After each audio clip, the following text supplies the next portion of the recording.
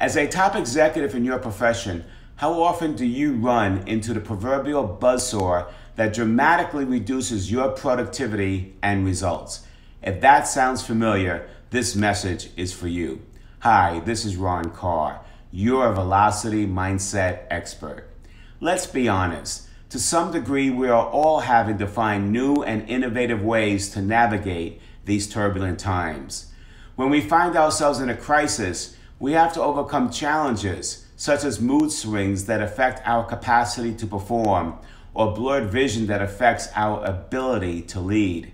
As a top executive, you can't afford to have downtime.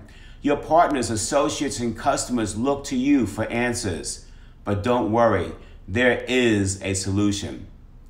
In times that are both good and bad, top performers in business, sports, and entertainment hire the best coaches.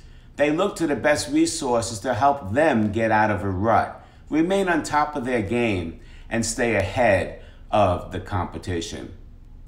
As an executive coach, I work with many top executives who look to me to give them a different perspective.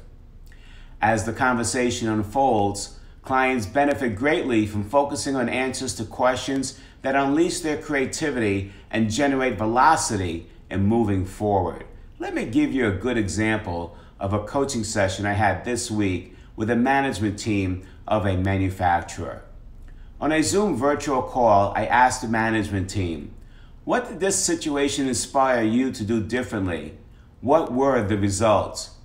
Without exception, they said, Ron, I would not have believed it possible. Our company communications have improved significantly. We were forced to connect virtually. Our communications are short and frequent.